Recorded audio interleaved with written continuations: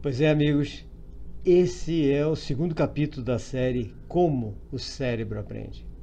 No primeiro capítulo dessa série, nós analisamos inicialmente o sentido do termo competência, para deixar bem claro de que receber um certificado, diploma ou título não significa termos alcançado a competência naquele assunto, mas sim que, a partir disso, passa a ser da nossa competência o estudo e a pesquisa, com mais profundidade, de tudo aquilo que tem a ver com a nossa formação. É bom a gente lembrar disso.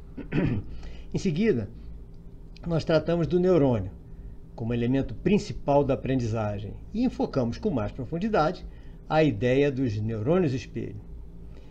Esses estão ativos tanto quando a pessoa realiza uma atividade comandada por ele, como quando apenas observa essa mesma atividade realizada por outra pessoa. É uma forma de aprendizagem neural muito semelhante à relação entre alteridade e identidade, que é muito estudada na antropologia, né? quando a observação do outro é o que nos leva a criar a nossa noção de identidade, a alteridade. Né?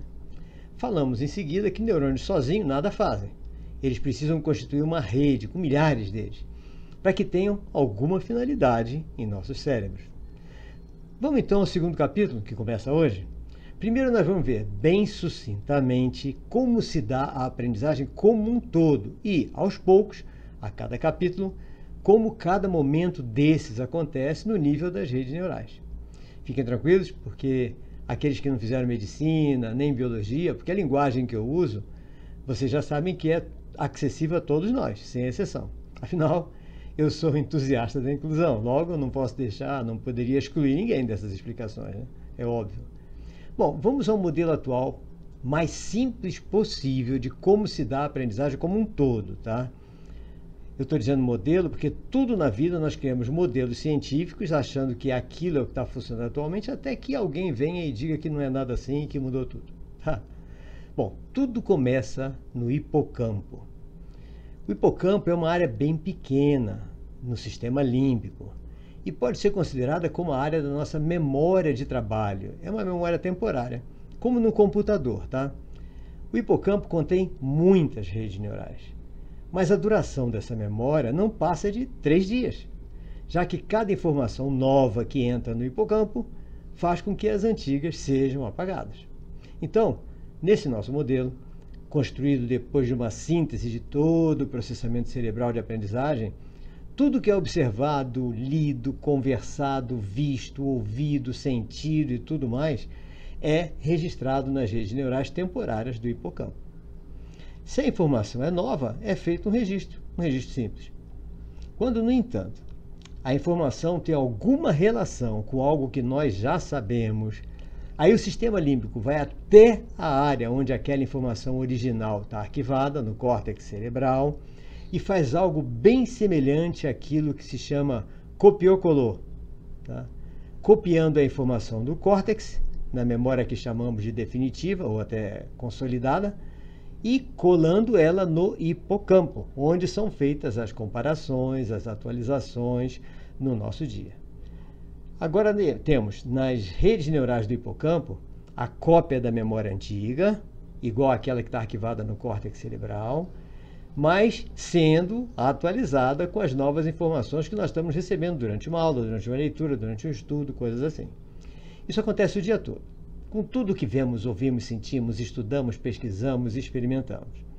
Mas lembrem, essa atualização ainda está no hipocampo, que é uma memória de trabalho temporária e que se apagará daqui a três dias. Precisamos, então, providenciar o envio dessa atualização para a memória consolidada, para que isso se torne uma aprendizagem. Como é que é feito isso? Só durante o sono. Sim, esse envio de memórias do hipocampo para o seu local definitivo no córtex cerebral é muito mais complexo porque não basta copiar e colar. Cada rede neural na massa encefálica cortical tem ramificações com todas as demais redes neurais, uma se utilizando de pedaços de informações de outras. É como a instalação de um programa no nosso computador, quando ele se utiliza das partes de programas que já estão instalados lá, Para quê? Para economizar espaço de memória. A mesma coisa acontece no nosso cérebro. Tanto que no computador nós não podemos apagar um programa simplesmente, né? Nós temos que fazer o quê? Desinstalar, certo? Então, da mesma forma que no computador, essa informação atualizada constitui um verdadeiro algoritmo que vai substituir aquele que foi atualizado, mas que vai ter que se interligar a todas as demais redes neurais existentes, para que tudo continue funcionando corretamente. Isso demanda tempo, demanda energia, por isso só pode ser feito em repouso completo, em quatro ou cinco momentos, entremeados com períodos de relaxamento cerebral. Observando o gráfico de sono, nós vemos que cada período de transferência de memória dura pouco, tanto que entre, do, entre 2, 3, 4, 5 períodos de memória, nós temos a redução de todas as frequências cerebrais. Para quê? Para o cérebro esfriar. Aí, depois de esfriado, volta a retomar a tarefa. Durante cada transferência dessas, diversos arquivos acabam mudando um pouco o seu local de armazenagem. Isso é normal. Por isso que a última etapa dessas transferências pode ser entendida nesse nosso modelo como a atualização do índice de todas as memórias.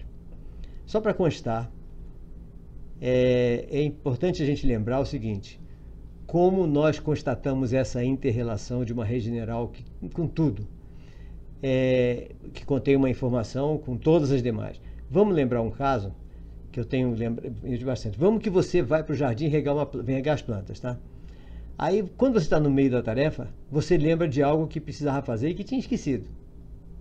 Aí, imediatamente, parou o trabalho, entrou em casa para anotar ou para fazer aquilo, né? Mas só que quando você entrou em casa, esqueceu tudo de novo.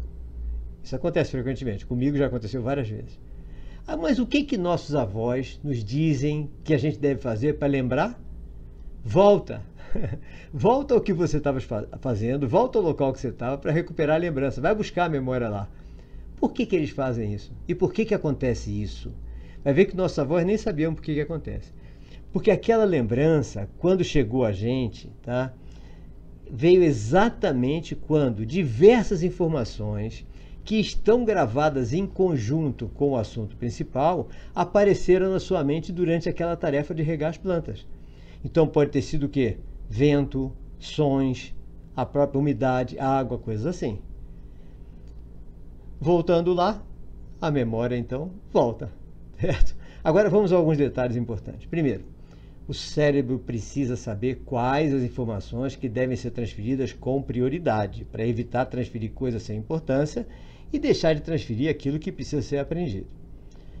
E o melhor artifício, a melhor estratégia para isso é nós estarmos durante os estudos, durante as pesquisas, os debates, as aulas, as palestras, escrevendo, anotando, rabiscando ou até desenhando, mas alguma coisa que represente aquilo que a gente está tentando entender naquele local que nós estamos.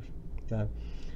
Todo ano nós fazemos experiências, tanto aqui como nos Estados Unidos, para verificar se a melhor estratégia continua sendo escrevendo ou se já estamos tendo a mesma facilidade digitando. Tá? Até esse ano, 2019, ainda tivemos como resultado muito mais eficácia na aprendizagem escrevendo do que digitando. Tá?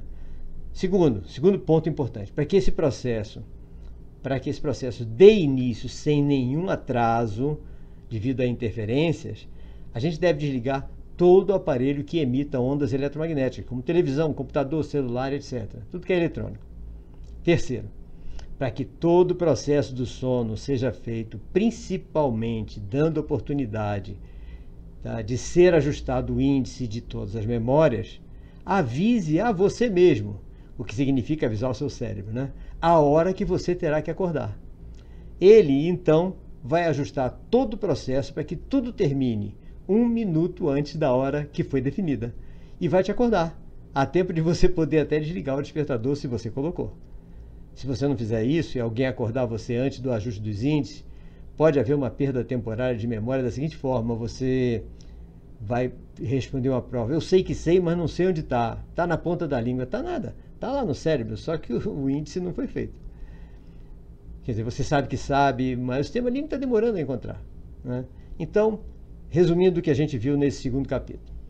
Nós entendemos então o hipocampo, nesse nosso modelo, como uma memória temporária ou memória de trabalho e que precisa ser salva no disco rígido, que no nosso caso é o córtex cerebral, para não ser apagada em três dias. Esse salvar só ocorre durante o período de sono. Entendemos também que nós precisamos estudar, ler, pesquisar, assistir a palestras, aulas, escrevendo, para que o cérebro possa estabelecer as prioridades nas transferências. Tá?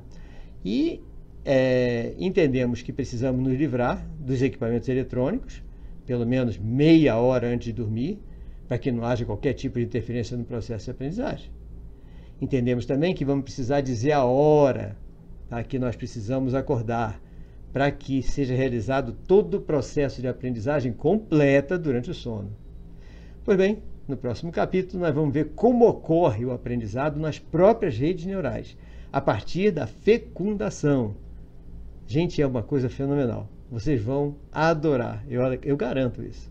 Um forte abraço e até lá.